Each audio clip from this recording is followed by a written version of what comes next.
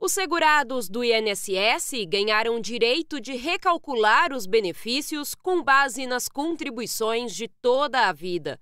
No entanto, nem todos serão beneficiados. A revisão da vida toda vem a partir de uma lei de 1999. Até essa data, o benefício era calculado com base nas últimas 36 contribuições, após isso a vida toda. Para quem já estava afiliado e ia se aposentar, essa lei limitou em julho de 94.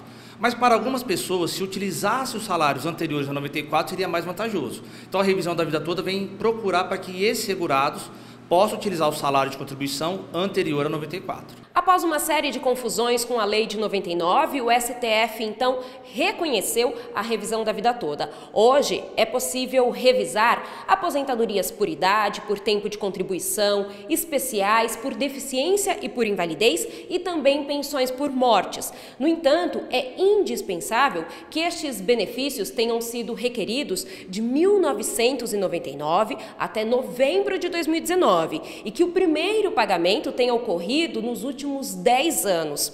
Mas atenção, em todos estes casos é sempre preciso requerer a revisão. O INSS alertou para o risco de golpes e esclareceu que o órgão não entra em contato com seus segurados.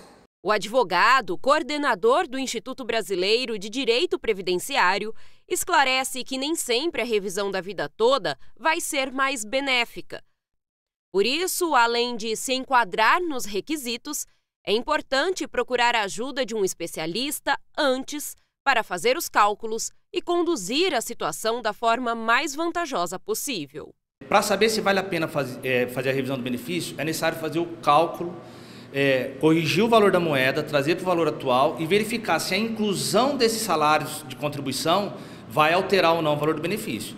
E só tem direito se houver a vantagem. Então não tem como ingressar com uma ação judicial sem fazer o cálculo, porque você tem que demonstrar a vantagem financeira para o juiz. Hoje o INSS já disponibiliza para você fazer o requerimento na via administrativa, mas a, a, a gente não aconselha que faça isso.